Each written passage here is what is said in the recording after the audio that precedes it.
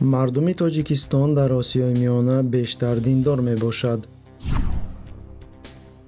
Раҳмон тафтиш намудани соҳибкоронро манъ намуд. Ӯзбекистон имом хатибон ба рӯзномаҳои давлатӣ обуна шудан маҷбур мекунанд. Нашрияи бритонии the telegraph харитаи диндории дунёро нашр намудааст чӣ тавре ки нашрия қайд мекунад? Рейтинги мазкур дар натиҷаи гузаронидани пурсиш аз ҷониби ташкилоти win gallup international солҳои 2008 2009 ва 2015 қайд шудааст? Дар пурсиш посухгӯяндагон ба суоли оё шумо худро диндор меҳисобед посух доданд. Тибқи маълумотҳои нашршуда кишварони осиёи миёна дар рейтинг ба таври зайл ҷойгир шудаанд дар тоҷикистон 85 фоиз аҳолӣ худро диндор меҳисобад. Дар туркманистон бошад 80 фоиз қирғизистон 72 фоиз қазоқистон 64 фоиз ва ҷойи охирро ӯзбекистон ишғол намудааст ки 51 фоиз аҳолӣ худро диндор меҳисобад.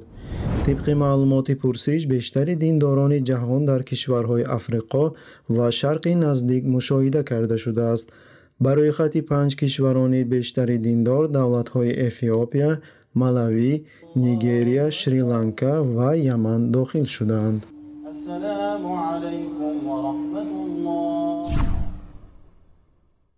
Раисҷумҳури тоҷикистон эмомалӣ раҳмон ба ҳама намуди тафтишоти фаъолияти соҳибкорон дар соҳаи истеҳсолот моратория эълон намуд. Қарори мутобиқшуда аз ҷониби раҳмон санаи 16 январ ба имзо расид чӣ тавре ки хадамоти матбуотии раисҷумҳур иттилоъ медиҳад бо қарори мазкур шахсони соҳибкор дар соҳаи истеҳсолот аз ҳама намуди тафтишот ғайр аз тафтишоти нақшагӣ аз ҷониби оҷонсии мубориза алайҳи коррупсия бонки миллӣ прокуратураи генералӣ палатаи ҳисобӣ ва кумитаи андоз озод карда мешаванд мурод аз эълони мораторияи мазкур дастгирӣ намудани давлат истеҳсолоти соҳибкорӣ буда барои афзоиш додани потенсиали саноативу экспортӣ мебошад.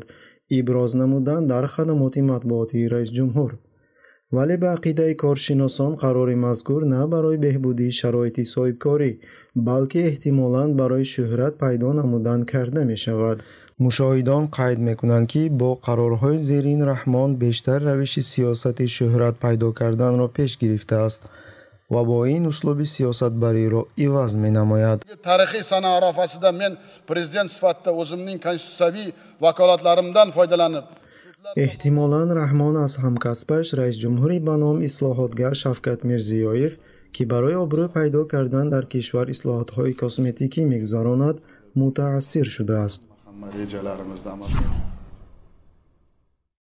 дар масҷидҳои ӯзбекистон бо фармони ҳукуматдорон имомхатибон барои обуна гаштан дар рӯзномаҳои давлатӣ мардумро маҷбур менамоянд.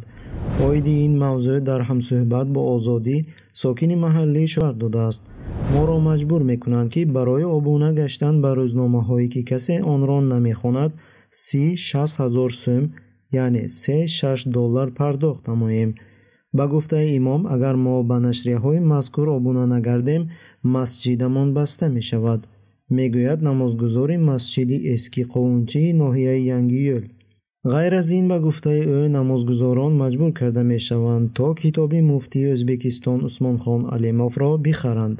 Китоби нави муфтӣ баромадааст ва аз мо талаб намуданд ки онро харидорӣ намоем мутмаинам ки китоби мазкурро намехонам вале чораи дигар надоштам ва онро харидорӣ намудам. Дар мо одат шудааст ки имомонро гӯш намоем.